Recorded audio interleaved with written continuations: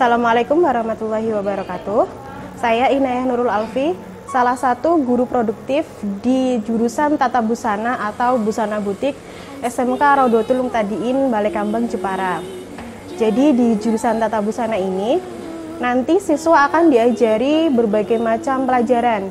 Dimulai dari pelajaran dasar yaitu ada membuat dasar desain, kemudian membuat dasar pola, ada membuat hiasan, ada pelajaran tekstil untuk um, mengajarkan kepada siswa berbagai macam bahan tekstil dalam menjahit.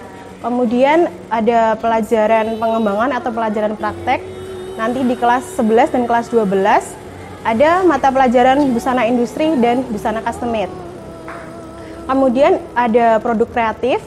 Uh, itu adalah mata pelajaran untuk membantu siswa atau melatih siswa dalam uh, berkreasi untuk berwirausaha. Nah, kemudian di tata busana kita juga ada yang namanya unit produksi. Unit produksi adalah uh, produksi tata busana dari siswa yang nantinya akan dipasarkan kepada masyarakat umum. Jadi contohnya di sini kita sedang memproduksi mukena. Nanti mukena itu akan kita jual kepada masyarakat.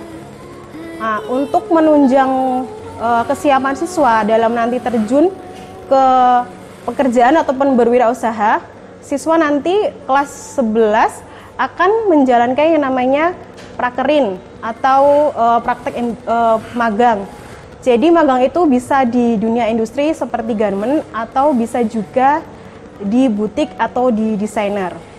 Uh, untuk lulusannya sendiri, uh, seperti yang kita ketahui ya bahwa SMK itu adalah untuk berwirausaha. Jadi yang harus uh, dilakukan untuk lulusan tata busana adalah yang pertama tentu saja berwirausaha.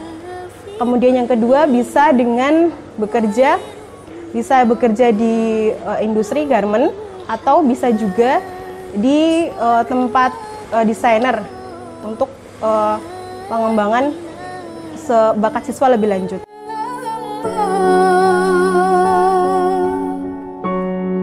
Hasbi